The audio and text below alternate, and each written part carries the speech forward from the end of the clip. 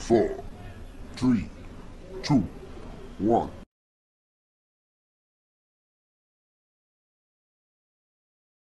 Actuellement, on voit la majorité des gens s'adonnent de la drogue à un âge précoce.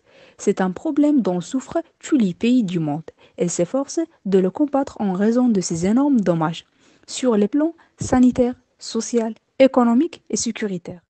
Ce problème ne se limite plus à un type de drogue ou à un pays en particulier, mais il concerne tous les strates sociales.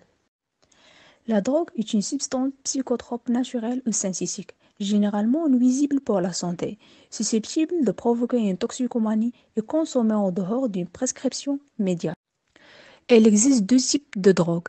Premier type, c'est les drogues dures, qui induisent la dépendance physique et physiologique, comme le cannabis, héroïne, cocaïne.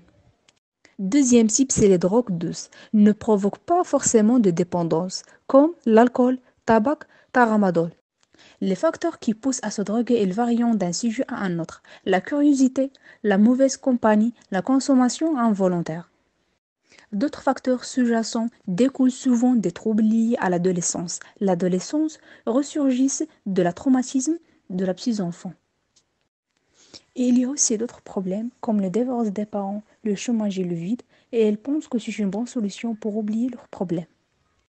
Les conséquences de la drogue sont la survenue de problèmes de santé physique et mentaux, ça dépend du type de drogue consommée, perte de connaissance et la mort subite, augmentation des toxines dans le corps, les infections dans l'esprit conduisent à des hallucinations.